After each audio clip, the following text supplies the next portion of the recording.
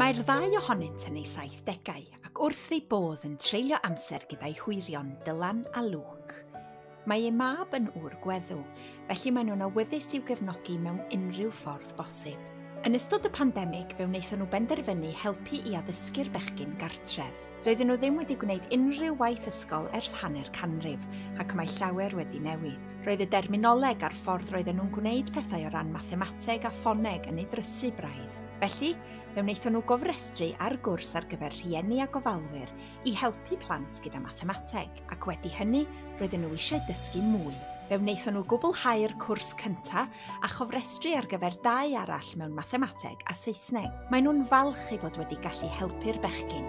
Byddai unrhyw nain a taid yn gwneud yr un fath yn yr un sefyllfa. Ond mae ennill y wobr yn gydnabyddiaeth ei bod wedi cyflawni rhywbeth.